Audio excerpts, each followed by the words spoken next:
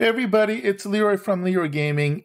Today is Wednesday, September 28th, 2022, and today we are the first major content update for Diablo Immortal. I'm really excited for this update because not only are we getting a brand new dungeon, a brand new season, new legendaries, new legendary gems, a brand new set of gear for players to collect, but we also have an overhaul of features of how warbands can interact in the game. So make sure to stick around as we look at all the details that are live right now in game so that you can check it out. Of course, if you find this information helpful and easy to digest, make sure to drop a like and subscribe. And now let's go and take a look at everything that is coming to Diablo Immortal right now.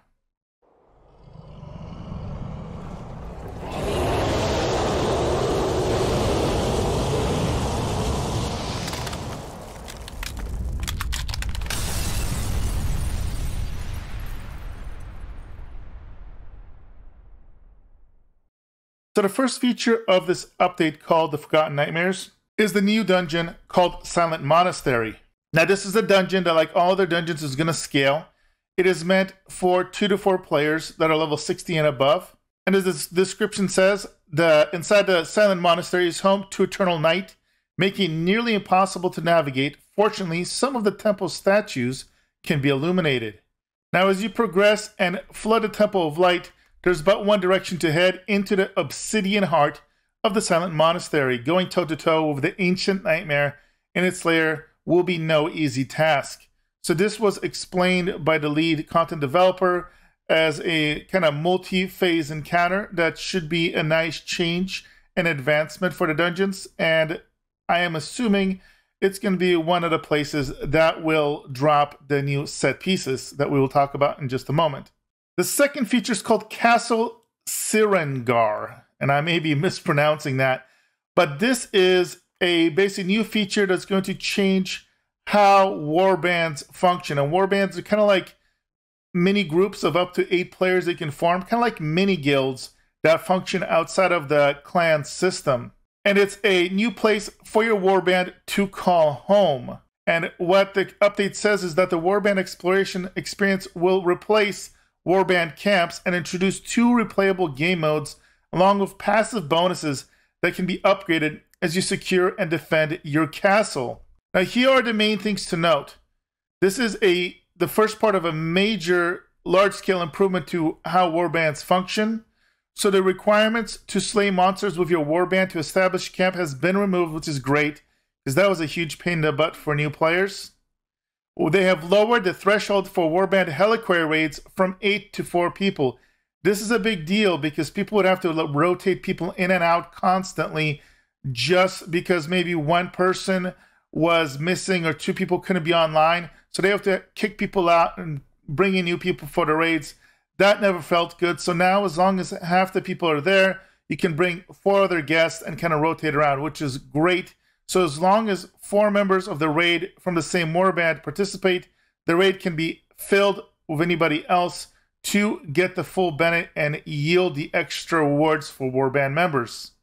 Now, successfully completing a warband Helliquary raid for the first time will now grant warband members an additional 400% drop rate increase for sealed warband chests.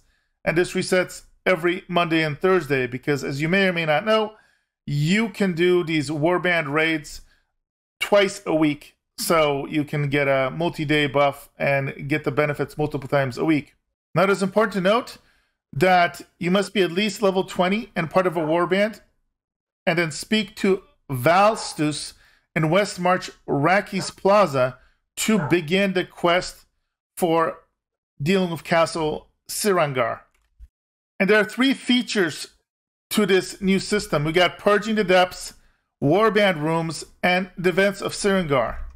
And in the Purge the Depths of the Castle Cyrangar feature, you can either solo or with up to seven other Warband members go in and basically cleanse these enemies uh, that basically are within the depths of the castle. Once you cleanse the castle of these, as they call unwanted guests, Additional rooms will become available for you and your warband members to occupy. And you can see uh, in this picture, you got like the infirmary, uh, the arsenal, uh, we got training room, and these different elements. You know, there's, there's eight roles. This is similar to how the warbands had eight different roles, and you can assign these rooms to different members, and it's going to increase different effects. Everything from increasing block chance, uh, a support role resurrecting fallen allies 15% faster, the attacker damage done is increased by 3.5%, and so forth.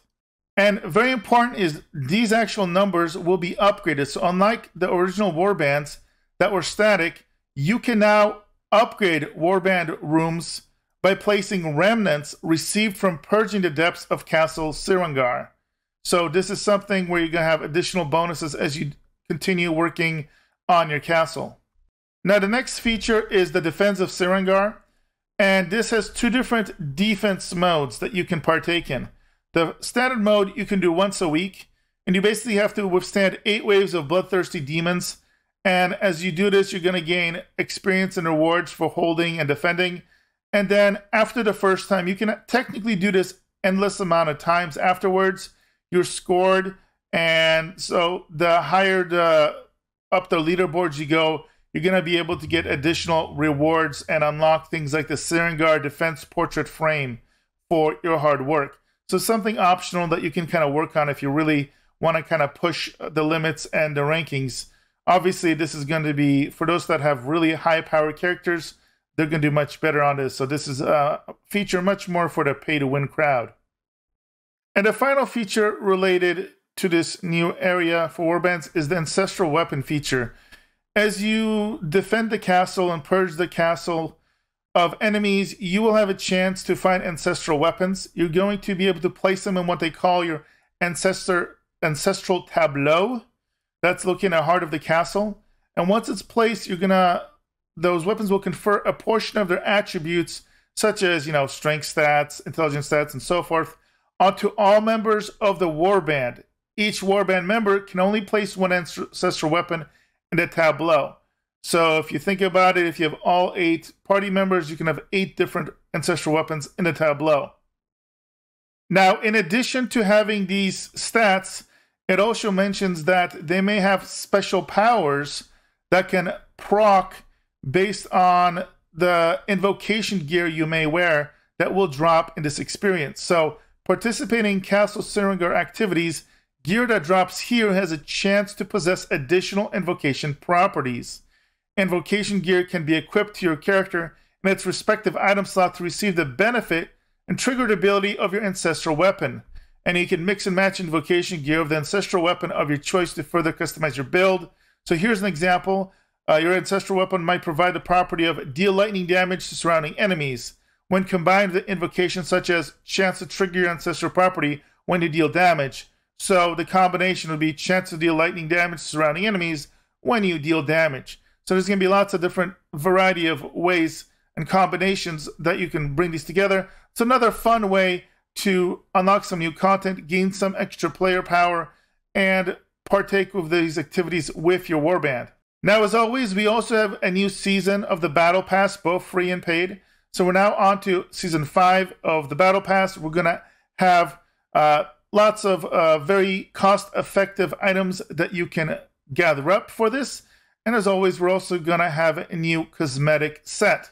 But that's not all. We also have a new Helliquary raid boss, Izilech the Mishappen, shape misshapen. So you can basically be prepared for another tier of difficulty that again will scale. Now do note that you need a combat rating of at least 6175 for this you know, uh, I'm nowhere near there right now. So this is definitely getting to a point where uh, for the extremely hardcore that have been playing non uh, nonstop so far, or the mega mega pay to win. Now that's okay because even the casuals eventually will get this. It'll give them something new to um, catch up to, or get carried potentially by their guildies. But this is uh, obviously very very high difficult rating. Now, real quick, the Scourging in the Dark limited time event is back. So this is as before, and just another way to do daily activities that you're probably already doing and get some additional rewards. Also, the Hungering Moon is back again. So this is going to be from October 6th to October 10th. They have a new kind of image for it, but it's the same event as always. And again, it's something that you don't really have to think about too much, and if you don't want to, and you're just going to end up unlocking extra loots just for the things that you do daily anyway. Now, I do like the image for the new cosmetic set, the Crowned Ones cosmetic set that has been added. And this is one that you can just buy with Eternal Orbs. You can, of course, check it out in game, but I really, really like the image here. This is very, very, very cool. Now, that's not all. They've also added new legendary gems. So there's a brand new one star gem, two star gem, and five star gem. Now, also, it's very important to note they've added a new kind of, it seems like a, a three week buff. Anytime a five star gem drops, it has a 50% chance to drop the new Frozen Heart five star gem. So, this is great if you want to find this, but not have the super low chances of it dropping based on uh, the amounts that are out there. Now, let's take a look at these gems. The first one's the Blessed Pebble. One star gem increases the duration of beneficial effects on you by 12%, increases your movement speed by 8% for 3 seconds after gaining a beneficial effect. The 2 star gem is called the Abiding Curse. Your attacks have a 15% chance to curse enemies, reducing their attack and movement speed by 35% for 8 seconds. Cursed enemies also take 10% increased damage from your attacks.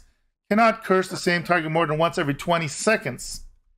And finally, we have the Frozen Heart, 5 star gem. When you take damage, activate a Frigid Shield for 6 seconds that chills the enemy attacker and absorbs damage equal to 360% of your base damage plus 1458.